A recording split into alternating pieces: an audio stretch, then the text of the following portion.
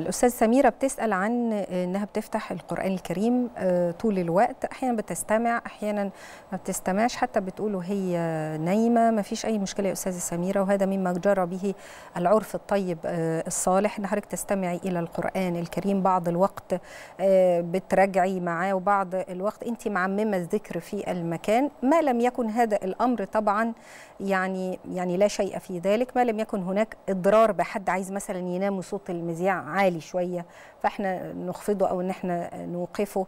آه، فالامر ليس فيه شيء يا استاذ سميره